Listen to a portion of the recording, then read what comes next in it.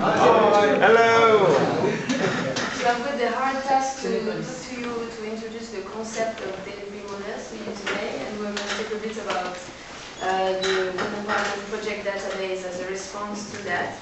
So uh, today we are going to introduce the concept, explain why it's important, talk about the database, a bit of example, and talk about the early findings. So, delivery model, what is it? Uh, to start simple, um, it's a concept that can be compared to a business model in the enterprise world. Um, the only difference is that the delivery model is also applicable to not non-profit organizations. Um, it's a very, very broad concept. It's just a little list of key factors um, that it includes. Um, needs, users, resources, suppliers, ownership, equipment, and financing. Wow, it's broad. So, um, and there is not a single definition on what it means. Um, there is one from practical action which is often used, and it's here, the way that a project design aims to overcome the barrier to scale up and sustainability in energy access in development projects. So among all of the things that it includes, we can kind of uh, divide this in three categories, so technology choice, implementing process, and enabling environment. I'm mostly going to talk about the second one, implementing process, because that's the one where we can make the most change, and we've already talked about technology choice a bit, like siting, resources, this kind of thing. Um, one thing that is a bit similar, we can't really talk about the differences and the similarity in the concept, but one thing that is used and I think it's quite similar is the ecosystem perspective. Um, John here or Practical Action uh, talk about understanding technology in their ecosystem. So it's a bit different in scope and stuff, but what it means is that we need to understand technologies as socially embedded, so beyond just the technical aspect of them. So the two next slides are meant to scare you slightly. Um, ah. Wow! so that's the definition that has been given. It's horrible, it's big, it's... It's hard to see from here, can you read them? No, we're not going to through it. Uh, so that's all the aspect um, that you need to see, so the environment, the finance, the resources, and you see the turbine is in the middle and all the layers of stuff that needs to be taken account and all the actors that need to work simultaneously for a project to be successful, a nightmare. So there has not never been research specifically on the delivery model for wind power yet, but there is a few places where you can get some guidance. Um, practical action is a very good one. The International Institute for Environmental Development is great. They publish a lot of things. Boiling Point is a very good journal which uses a lot of case studies, very accessible from HEDON. And uh, Practical Action has developed a toolkit for all renewable energy ser uh, services um, where you can find some tools to think about the model, whether you're asking yourself the right question, whether you're missing something. So that's a good start, a good place to start. Um, then why do we need to care really? Um, Delivery models are hot, a hot topic in everything, not only renewable energy. They are for development studies in general. Um, there has been a kind of realization in the 90s that most of the development work wasn't doing its job, that it wasn't working, and sometimes even worse, that it was doing opposite.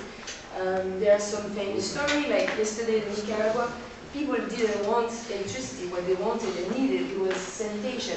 There are examples like um, in all aspects, like some, a very famous one in Africa, Oxfam at the beginning of, uh, went to build a well in a village.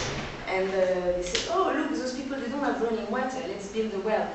And uh, they built the well, all the engineer from the UK, France, Germany went back home, and after a few weeks they called, so how is the well going? Oh, it's been sabotaged. So the engineer come back and say, what's going on? So they clean it up, make it work again, and a few weeks again, sabotaged again, and it took months to realize what was going on.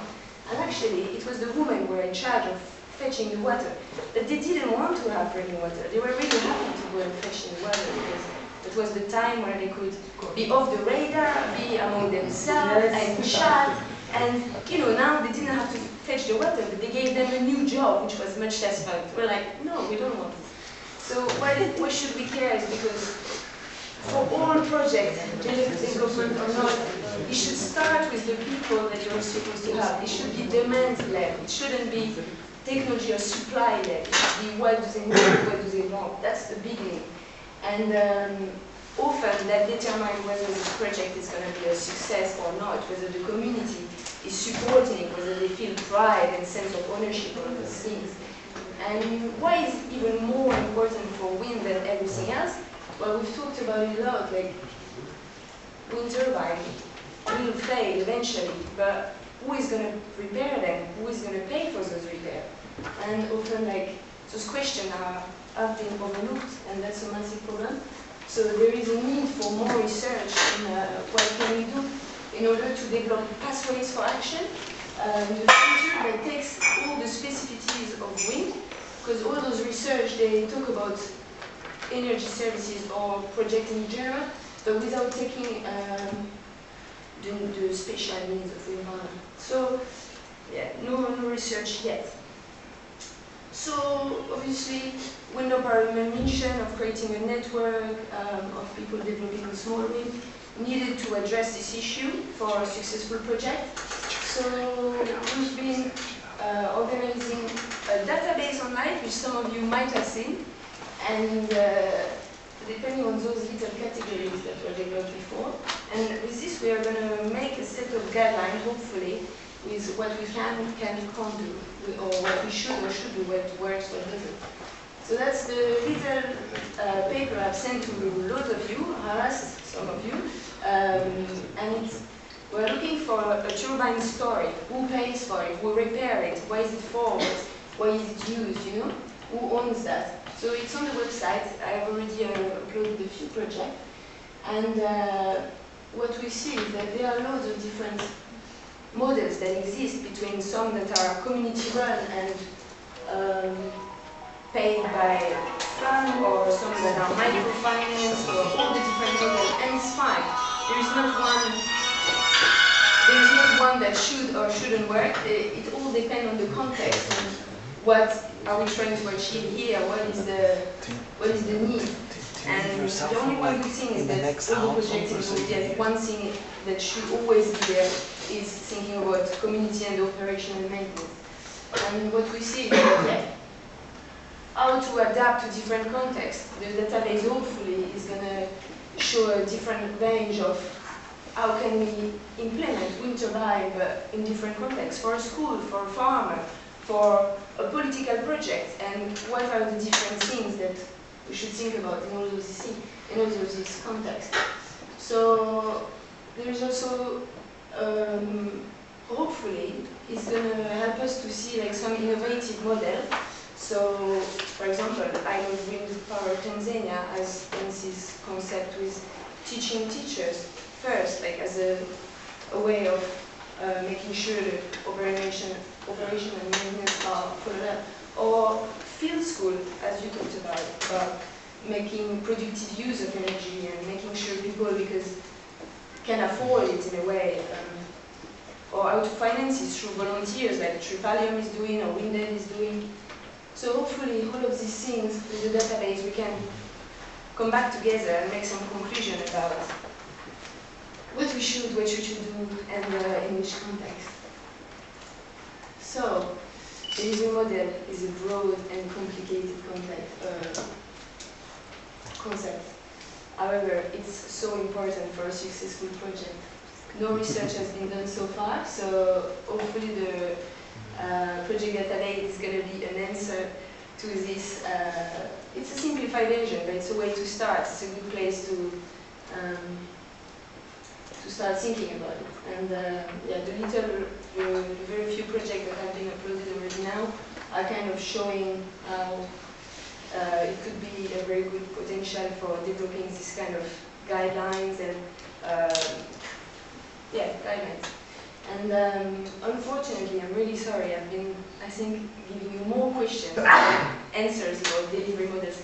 But maybe that's the point, maybe that's the point of thinking about those things and uh, asking yourself the right question at the beginning. How is this going to work over the whole lifetime of a turbine?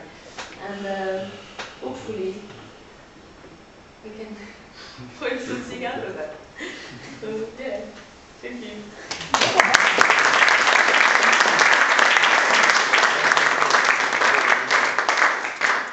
It's all reference, guys, if you need afterwards.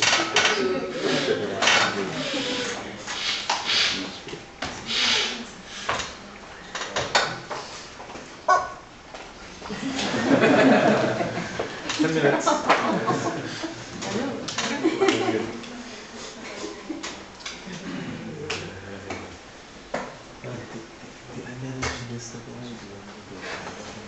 Right, thanks, Zoe, and um, I'd like to welcome Roland.